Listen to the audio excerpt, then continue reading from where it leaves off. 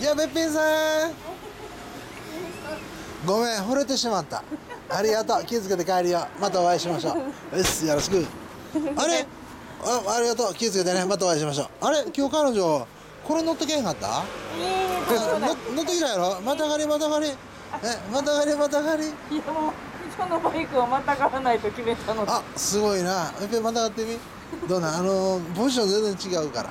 どうぞ僕またがっていいですか？いいよ。マッハの7半破壊弾破壊弾になれるよ。そのバイクまたがってこかしちゃったんです。あほんまに？あもう全然気にせんといて。はいすごい足ツンツンや。はい昔機械弾破壊弾してるやろ？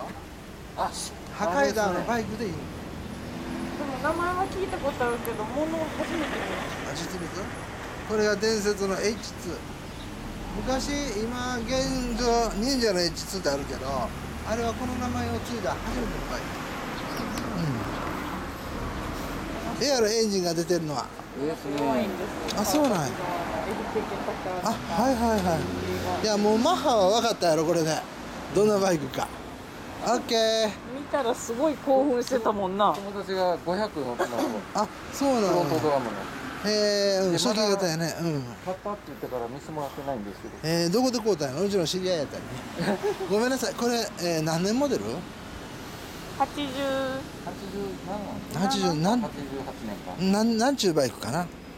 えー、CBR ハリケーン。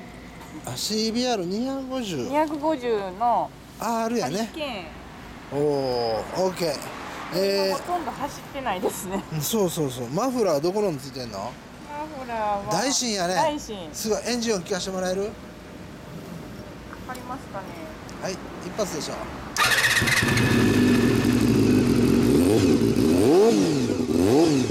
はいえー、これはなんていうバイク？VFR400R です。えー、何年モデル？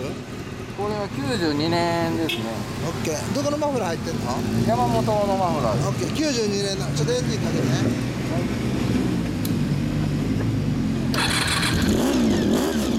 なってる。どうぞ。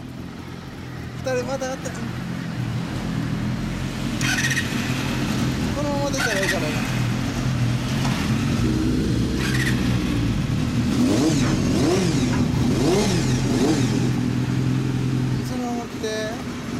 はいおらい。おらい。